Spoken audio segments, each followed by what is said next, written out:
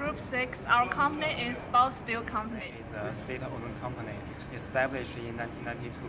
In that time, the government provided abundant funds and experienced research to promote the development of Baosteel Steel Company.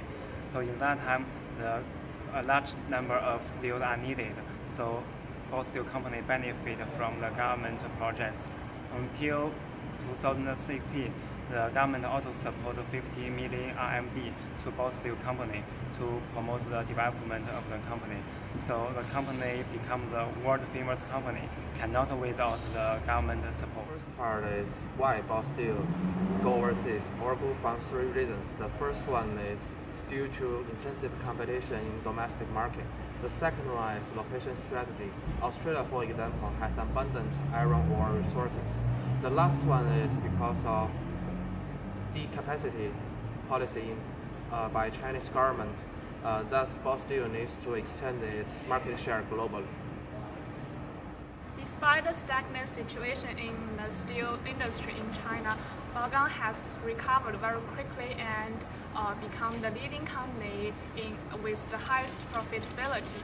And one of its resources and capabilities is the innovation, that it continues increases in its inputs in research and development. And some achievement has been made that Baosteel achieved uh, 8,711 patents. And moreover, it established a strategic cooperation with many top universities and institutes to keep its uh, competitive advantage in innovation. Focus on high-end uh, steel products and uh, make balance between cooperation of high-end products and medium products to ensure the benefit gained from the development of variety and purpose scale products. Also, another competitive advantage is differentiation of development in China to create a high product premium of Unicode and leading to take advantage at first and the quality and services to increase the value added. Baosteel is the leading metal and iron producer domestic and international wise.